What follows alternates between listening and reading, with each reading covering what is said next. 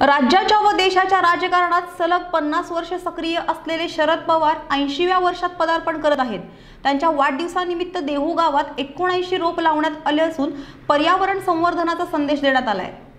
आज पवार साहेबांच्या वाढदिवसानिमित्त एकोणऐंशी रोपांची लागवड करून देहू गाव या ठिकाणी आम्ही वाढदिवस साजरा केला.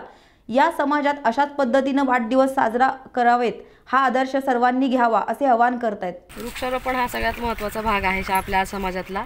आज पवार साहेबांच्या वाढदिवसानिमित्त जागोजागी बॅनर लावले जातात. तर हे बॅनर न लावता सगळ्यांनी वृक्षारोपण करावं अशी माझी मनापासून इच्छा आहे.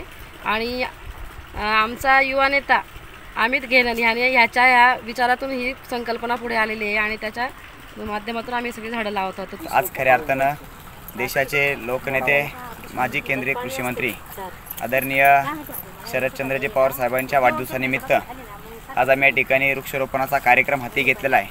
हा कार्यक्रम घेण्यामागचं कारण आज समाजामध्ये आपण पाहतो सोशल मीडिया असेल बॅनरबाजी असेल विविध उपक्रम त्या ठिकाणी पोस्टरबाजी केली जाते विविध उपक्रम राबवले जातात. परंतु एक समाजामध्ये उपयुक्त अशा प्रकारचा हा उपक्रम आम्ही हाती घेतलेला आहे.